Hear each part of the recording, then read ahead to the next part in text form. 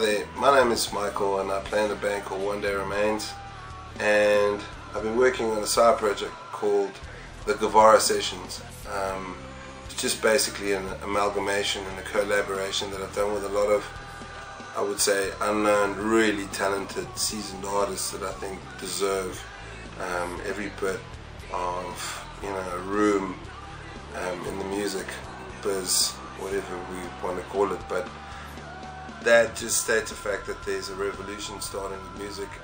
Everyone else out there, including you that's watching this right now, you might have a band, or even better, have a few songs of your own.